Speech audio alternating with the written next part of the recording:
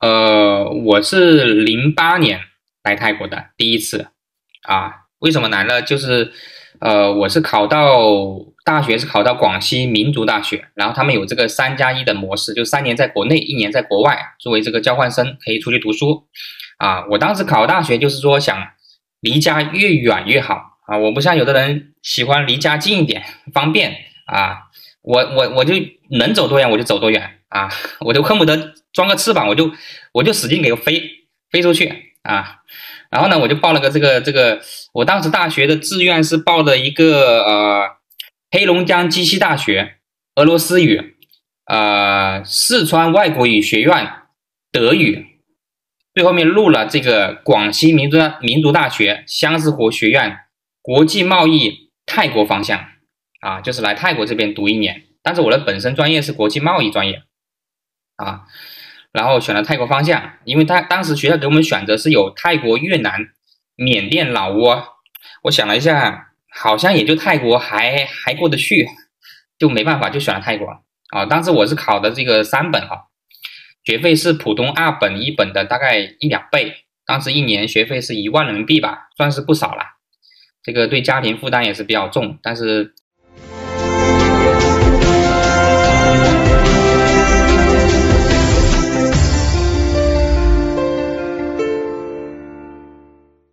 没办法，读书嘛，这个对自己的投资是最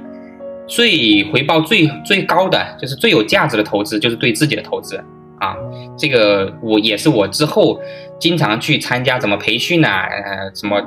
各种学习啊，我也是很喜欢去，在泰国本地啊，一一次学费可能就一一两万，就读个一两天啊。包括我上次去参加法政大学那个培训，也花了有十几二十万。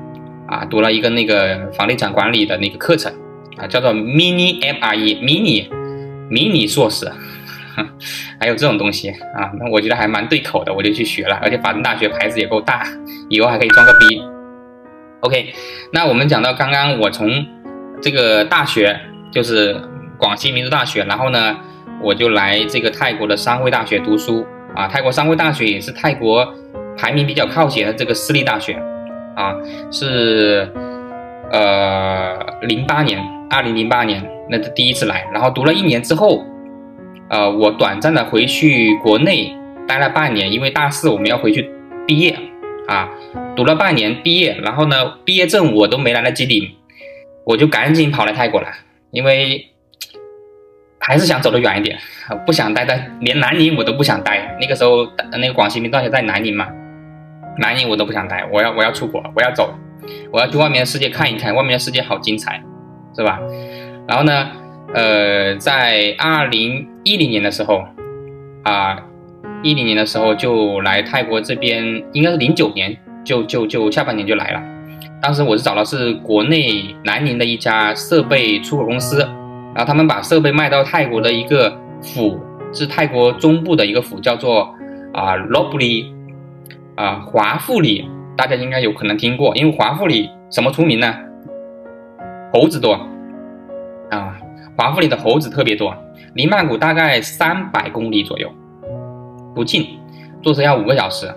然后那边啊，还有一个出名的地方是向日葵啊，那边有个很大的一个向日葵花海啊，这每年向日葵开开开花的时候，很多泰国人跑去那边拍照啊，各种。但是这两个东西我都没遇到。我去华富里待了半年，去做翻译，在工地里面做翻译，待了半年啊。半年我休息了一天，真的就是每天早上五点多六点多爬起来，然后坐那个怂条车啊，泰国那个皮卡车后面不是两排座位嘛，我们包那个这个这个怂条车双条车，从这个县城啊住在县城，但是工厂在郊区的郊区。包了个车，然后开到那个工厂里面去，然后白天就在工厂里面啊做翻译啊，啊闲得无聊就旁边这个看看花，看看草，看看田，看看牛，因为那个工厂隔壁是个鸡鸡场，养鸡场，然后什么都没有了，seven 也没有，啊连只母狗都看不到，真的是好无聊。那个时候对于血气方刚的我来说，真的是好无聊。最开心的一次是有一个工程师带我去旁边的这个田里面呢，去电鱼，哎呀，真的是好开心那一次，他就带我电鱼，哎呀，这就是我那那那那半年的唯一的一次娱乐娱乐活动。然后待了做了半年，做了半年，然后他这个工厂啊就已经安装完毕了啊，然后国内的公司就要我们撤回去，我就不撤，我都来都来了，我我我回去干啥呢？是吧？去南宁，我我我去南宁干嘛？我我去卖猪肉嘛，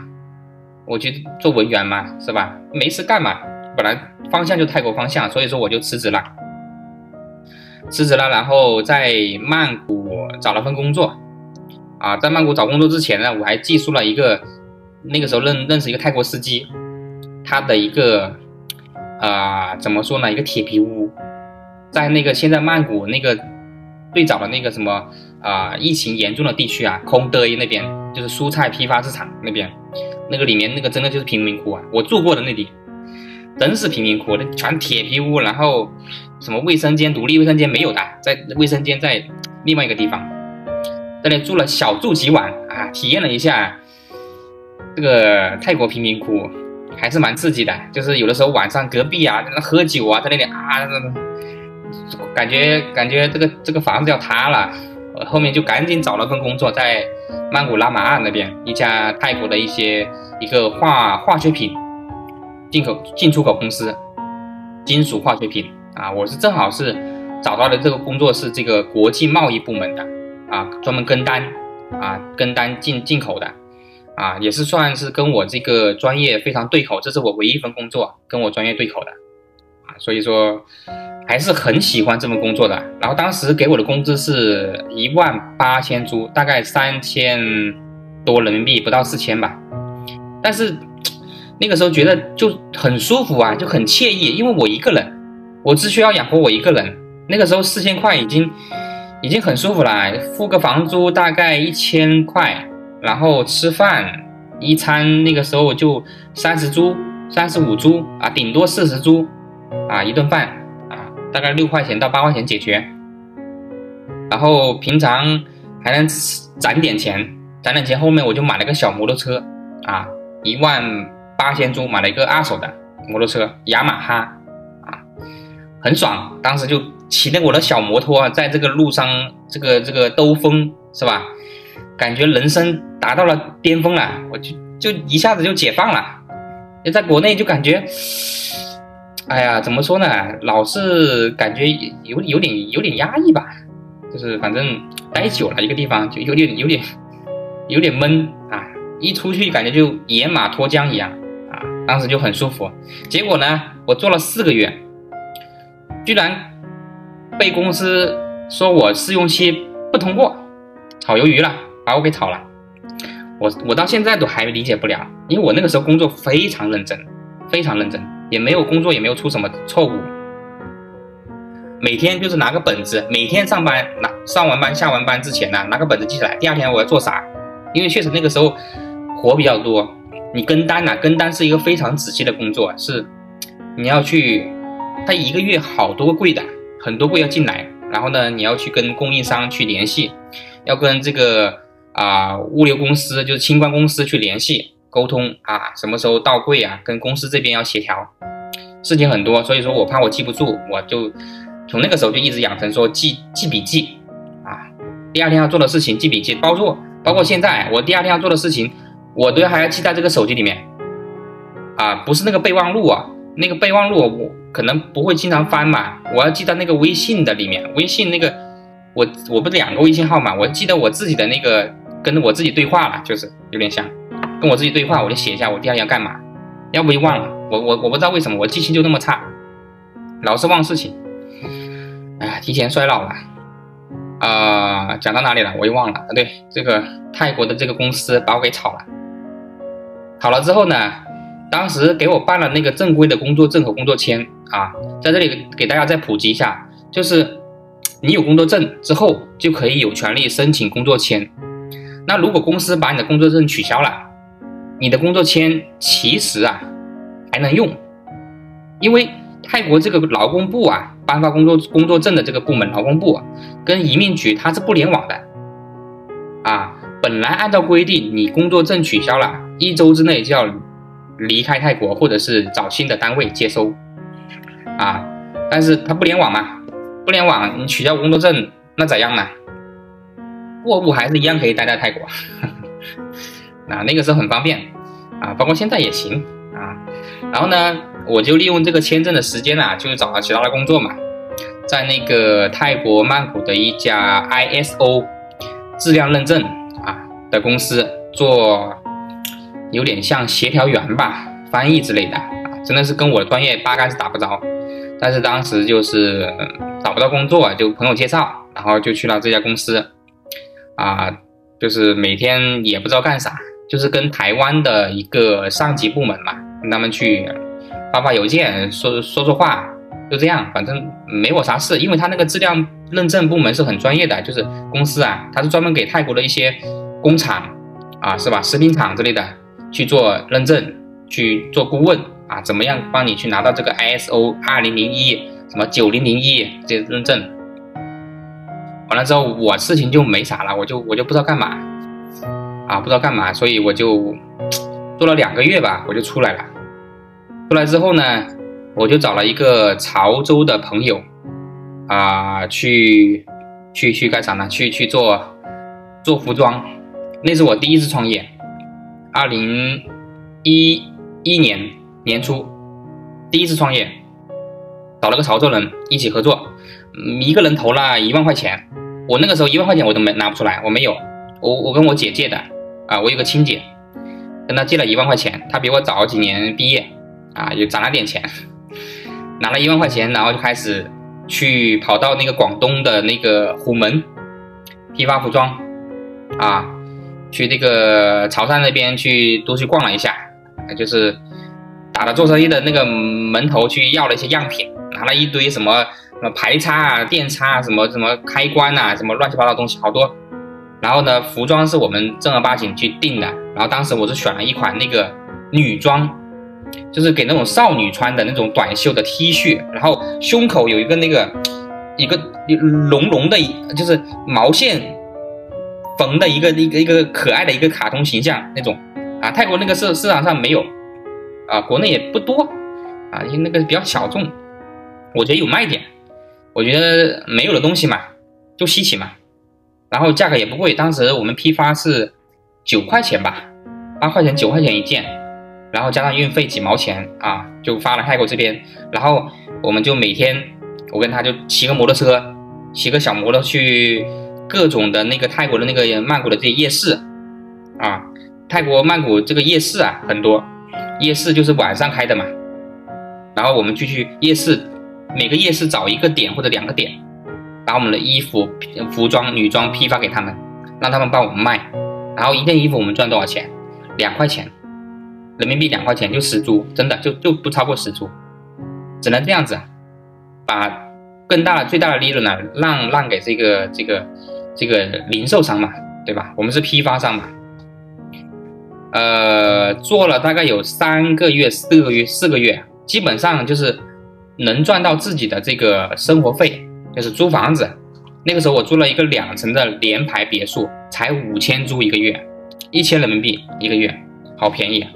两房两卫，带个大客厅、大厨房、大卫生间，还有一两个停车位，太太爽了。没住过别墅啊，在家里都是住公寓，是吧？没住过别墅，哎，蛮蛮蛮舒服的呀，蛮好的呀，啊，好，每天白天就是呃看看电影啊，这个看看那个时候最喜欢看啥呢？《非诚勿扰》，二零一一年很喜欢《非诚勿扰》，第一年出来，哎呀，好火，每天晚上吃饭就是一边吃饭一边看《非诚勿扰》，呃，做了三四个月，感觉呃还不错，最起码养得活自己，没亏本呐，我三个三四个月已经基本上。可一直在赚钱的啊，养活自己了啊，没没啥没啥挣钱，但是还不错感觉。然后遇到泰国百年一遇的大洪水，就是二零一一年，真的是倒了血霉啊！啊，呃，一一年我租那个房子在邦开嘛，就是在曼谷的一个下海口，水是最后才到的，但是淹的时间是最长的。那个时候晚上，我记得都有人警报了啊，水来了，水来了。我们那个小区嘛，经常有人自发去做这个警报，去逛巡逻，堆了各种沙堆，是吧？啊，我我还有那个图片在。然后第二天早上我就立马打了个的，赶紧出去打了个的，就跑了，因为那个水真的是很恐怖。那个时候很多朋友都回国了，待不下去，因为泰国曼谷基本上每条路都被淹，只是淹多淹少的问题。像拉特达。拉特达辉煌那边是吧？淹到那个属地展那里了，然后拉泡那边淹到一淹了一半了，然后基本上不管你是曼曼谷市区哪里都都有淹水，根本就没法正常生活工作了。那个时候我们没有收入嘛，就是靠这个卖服装，结果那个夜市都被淹掉了，我卖个啥？嗯，人家咋咋拿货嘛？卖不了啊。那个时候又没有什么电商，那个时候啥都没有，就只是在。路边卖卖，然后那个那个时候，就是我们也自己去做零售了。有的时候去一些周边的一些市场，租了个小小铺面，然后去卖，或者是在那个泰国那个人行天桥啊，人行天桥那个上面，我就摆了一个那种衣架，就是一根铁棍的那种那种衣架，啊，呃，什么晾衣架嘛，对吧？然后就挂了几件衣服放在上面，我就卖九十九铢一件。啊，卖一个晚上能卖三四件，能赚一百多株、两百铢啊，也也够好几天的生活费了，感觉还还还还还还蛮有意思的。然后呢，就遇上这个大水啊，就没没真的没法干。然后我就跑到啊曼谷拉泡那边投靠了我一个老乡，因为当时我个老乡叫我去帮他帮他做事嘛，他开了一个那个广告器材公司，啊。我去了之后，后面我都是租了条船回去，我那个租的那个房子啊拿衣服，真的那个水非常深。我把我那个摩托车啊，我那个雅马哈摩托车放在那个厨房，厨房比外面客厅高了半米，高了半米，然后比外面马路高了当将近一米，都全部被淹掉。一楼基本上都被淹掉了，就是你坐船进去，然后进去里面一楼，然后再爬上二楼去拿那个衣服。因为没有衣服换了，哎，其实说到衣服，你看今天我这个衣服，为了专门配合今天这个第一次直播，这个，啊，这个泰国的那个泼水节专用，花花绿绿的，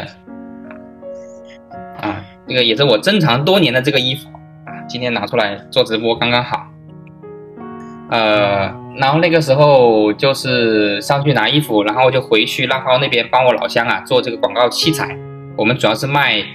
呃，中国发过来的这个灯布啊，然后 PVC 就室内写真耗材啊，像纸啊、PP 纸等等。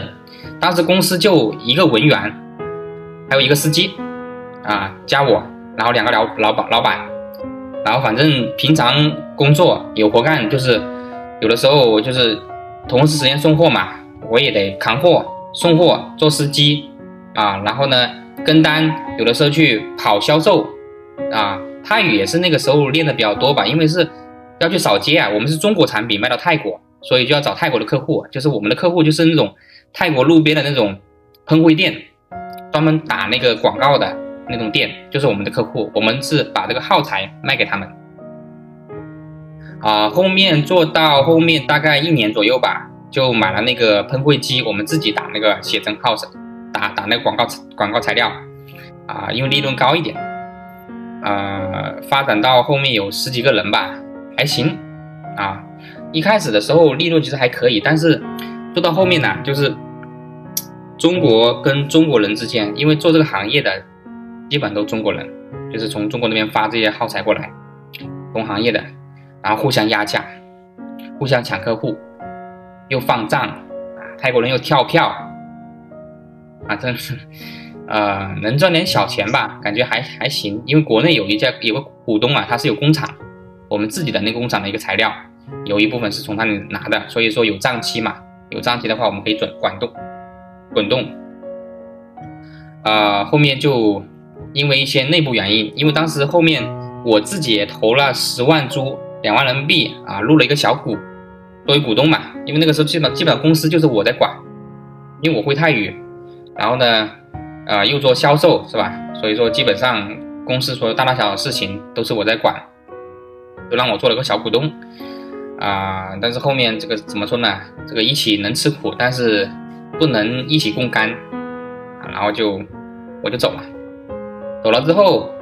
就加入了这个当时泰国最大的中文这个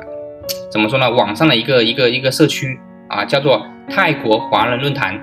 早期来泰国的人应该都知道这个这个东西，泰国华人论坛。啊，这个是当时我们中国人来泰国非常喜欢上网去玩的一个网站啊，里面有很多板块啊，什么泰华交友啊，什么二手交易啊，什么车市啊，